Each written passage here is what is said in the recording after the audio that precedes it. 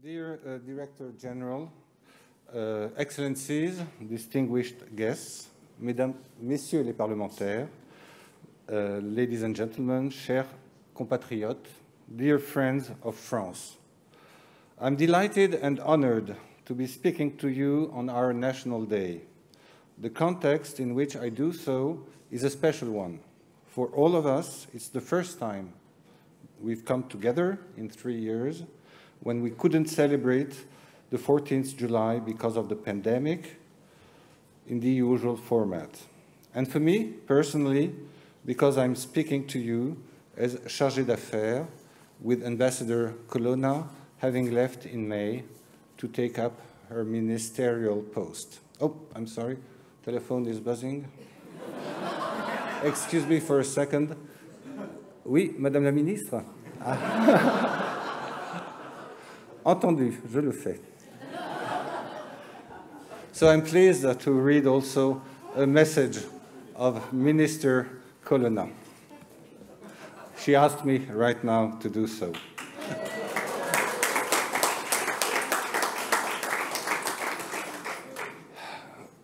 Director General, colleagues, friends. Because of my appointment to the French government by the President and Prime Minister, I was unfortunately unable to say goodbye to each of you in the proper, friendly way I would have liked. So today, I want to greet you all on this glorious occasion of our National Day. My thoughts are with you, and I'm pleased to be joining you in spirit to celebrate Franco-British friendship. This friendship is long-standing. The United Kingdom's decision in 2016 to leave the European Union is perfectly respectable, like any choice expressed democratically, but just as respectable are the partners with which a treaty has been signed. You know how strongly I believe in Europe. It's by continuing their European path linked to history, geography, and the sharing of their common values that the UK and France will move forward. Happy 14th of July and enjoy the celebration. Catherine Colonna. Voilà.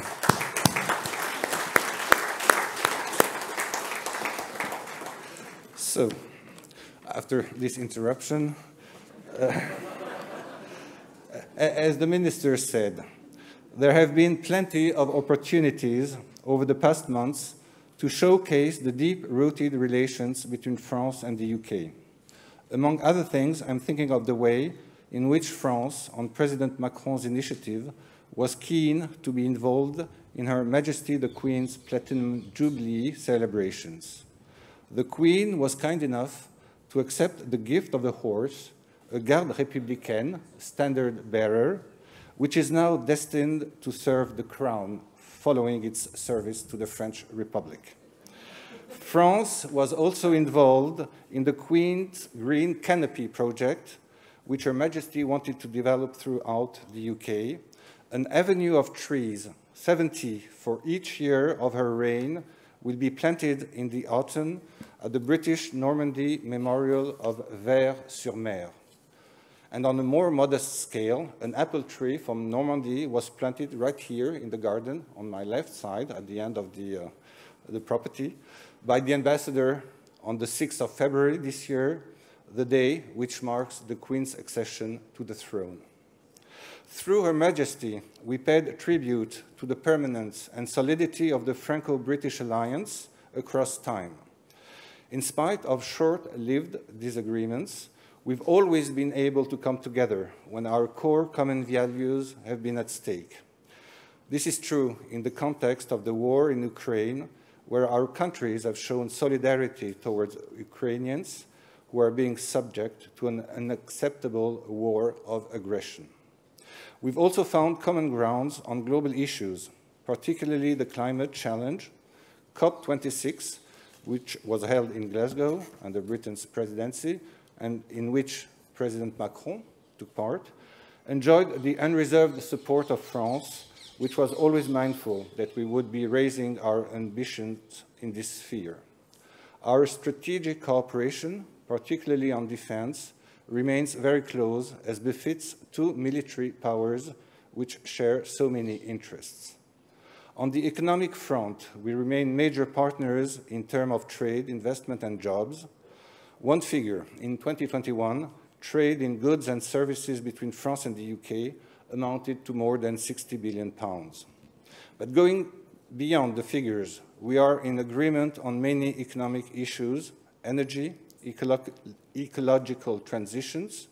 We only need to think about our cooperation in the civil nuclear sector, and more generally, the major technological challenges ahead. These fields and the determination of our businesses to continue developing cross-trade and investment show how essential for every one of us the Franco-British economic relationship is today, and it will remain so. Our ties with the whole UK nation, both its representatives and its civil society, are strong. From London and Edinburgh, with the help of the network of alliances of the alliances of the pardon, of the uh, Alliance Française throughout the country, the Institut Français will continue playing its full role in projecting French culture and creativity, as well as encouraging exchanges and mobility, which are so essential. In this way, we enable British students to go and study in France, thanks to the Études en France scheme, and we support Franco-British research cooperation projects with targeted finance. And I'm also thinking about our expatriate community, which is both a stakeholder and an asset in this bilateral relationship. Chers compatriotes, votre dynamisme et votre diversité sont les évidents relais du rayonnement de la France au Royaume-Uni. Vous savez pouvoir compter sur le soutien et la disponibilité de notre réseau, de nos consulats généraux à Londres et à Édimbourg, et de nos consuls honoraires pour vous assister en tant que de besoin. Tout au long des épreuves qu'ont constitué la question des droits des citoyens européens après le Brexit ou les perturbations liées à la pandémie, notre réseau consulaire a eu à cœur de vous accompagner. La manière appréciée par tous dont se sont déroulées les dernières élections présidentielles et législatives témoigne de l'engagement et du professionnalisme de nos agents que je tiens ici à saluer. Vous êtes nombreux parmi les invités aujourd'hui à vous être portés volontaires pour nous aider à relever ce travail euh, important électoral. À travers vous, je souhaite remercier les centaines de compatriotes qui se sont mobilisés et sans qui notre dispositif n'aurait pas pu fonctionner. Et je remercie également le député Holroyd et le sénateur Cadic qui nous font l'amitié de se tenir à nos côtés, à vos côtés, pour relayer et répondre aux attentes et aux aspirations de la communauté française du Royaume-Uni. As you can see, many factors prompt us to take action. I mentioned the war in Ukraine, which, as it drags on, is shaking up maybe in a lasting way, our joint bilateral security interest. Twists and turns can happen and may be linked to adapting to an unprecedented situation, that of a new modus operandi with a partner with whom we travel together with, within the European Union for more than 40 years. But those twists and turns must not make us forget our bilateral fundamentals, which are sound and solid. Our two countries will be working hard on strengthening them in the next few months. In the spirit of the 1904 Entente Cordiale, in the spirit of our shared struggle in the two world wars, France will never forget how the United Kingdom enabled it to organize its resistance from 1940 onwards. In the subsequent world crisis in the implementation of the treaties of Lancaster House of 2010, France and the UK will continue to work for a fair, safer, more balanced world which respects human rights and the rule of law. It's this ambition for the coming months which I would like to share with you all. On our National Day, I'm sure we'll all contribute collectively to the dynamism of our relations and to affirming our common values.